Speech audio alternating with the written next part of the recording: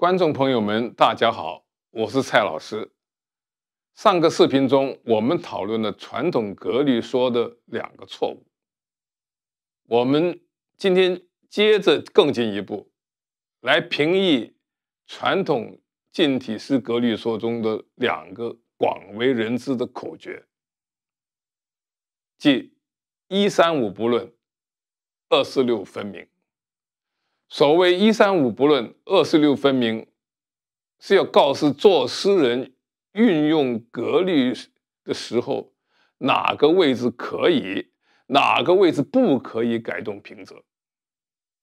具体的意思说，五言里面的第一个字和第三个字，七言里面的第一个字和第三个字和第五个字，可以比较自由的。变换平仄，五言里的第二个字和第四个字，七言里面的第二、第四和第六个字，必然是平仄分明的。这个口诀大致准确，也方便记忆，但不够精确，没有交代例外的情况，而。传统说诗家虽然举出了一些例外，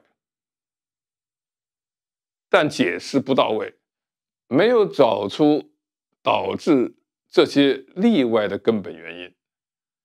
在接下的两集中，我们一道来讨论这个口诀。这一集我们先讲一三五不论。在上个视频中我已经讲过。七律格律只是五律格律的延伸，因此一三五不论的原则虽然可以针对七言，但真正决定格律的特点其实是后面的五个字。在判断七言格律时，关键要看其后面的五个字的部分。千万不要被前面两个字搅乱了视线。前面两个字记住两点就可以：第一是第一个字的平仄可以随便改；第二个是是第二个字则不能改动。我们的注意力应集中在后面的五言部分。因此，我认为。传统的一三五不论，其实可以简化为五言部分的一三不论。那么，在一三不论中，所有的类句的第一个字，难道都可以变换平仄吗？现在，我们将四种例句一一加以查看。这这平平仄。改为平仄平平仄，可以。平平仄仄平，改为仄平仄仄平，不行。平平平仄仄，改为仄平平仄仄，可以，而且经常使用。仄仄仄平平，改为平仄仄平平，可以。而且也常用，在四种律句中，只有第二行的平平仄仄平是不允许改动。若变成了仄平仄仄平，这就成为在传统格律说中所说的孤平。传统的解释是，除了韵脚的平声之外，诗句中不能只有一个平声。这个孤平的解释显然是不准确的。按此定义，四种标准律句中之一，这这这平平，岂不是也是孤平吗？它除了韵脚的平声之外，也只有一个平声。为什么这这这平平可以成为标准的律句，而？平平仄仄平绝不能改为仄平仄仄平呢？原因是这样一改，句子就失去了平声的双音部，只有一个仄声的双音部，这是不允许的。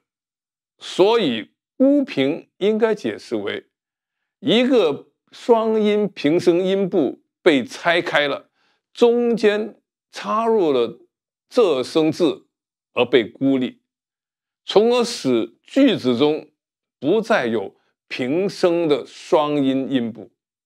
为什么只有一个平声双音部可以允许？而只有仄声的双音部就不行呢。我认为这点与传统的中正平和审美原则有关系。我们传统的美学讲究中正平和、温柔敦厚，平声舒缓平和，带有温柔敦厚的情调。按照传统的。阳贵阴卑的观念来说，就是平声音不为贵，仄声音不为卑。诗歌不像词，词往往是很激烈的情感表达，以短促的入声字、去声数为韵；而诗是用低声吟咏的含蓄之声，所以要以平声为主。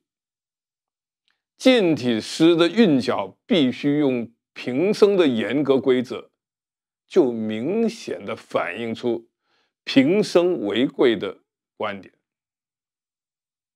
平平仄仄平不能改为仄平仄仄平的规则，也说明了平声音部为贵，句子中不可缺少的理念。这样的解释不仅可以避免孤平之说造成的混乱，而且揭示了要避免它的原因。在第一个字可以改动的三种律句中，为何仄仄仄平平和平平平仄仄改的最多呢？这是因为第一个字的平仄的改动。只是将前面的三音部改为双音部而已，而生成的平仄仄平平和仄平平仄仄仍保留了两个双音部最大的对比，也就是我说的第一条格律原则。第三种律句，仄仄平平仄。也是可以改第一个字，虽然剩下来只有一个双音部，但它由于所保留的音部是平声的，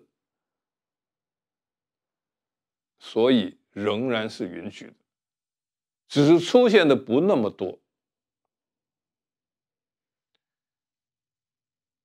一三不论的一讲完了，我们来看。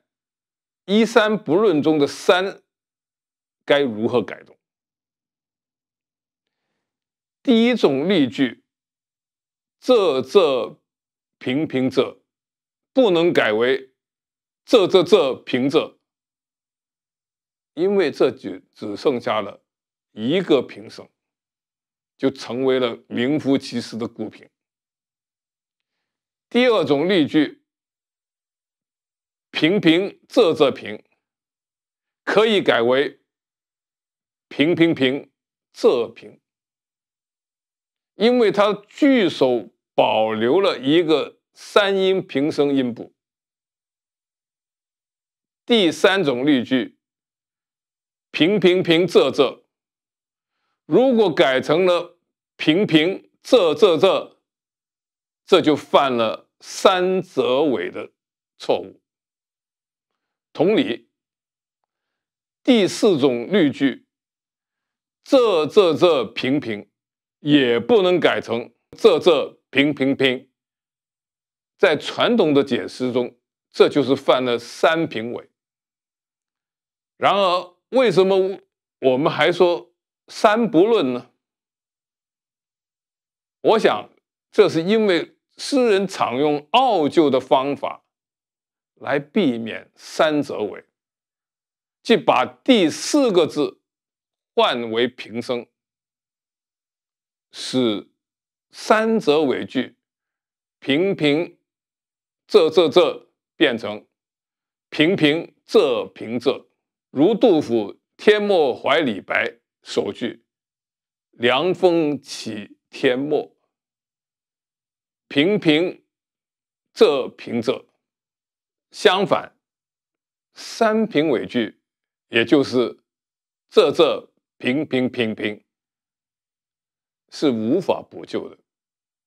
原因是，若改成了仄仄平仄平，那么句子中就没有尊贵的平声音部了，是不可接受的。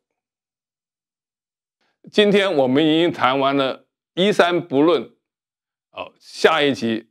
我们继续谈四六分明。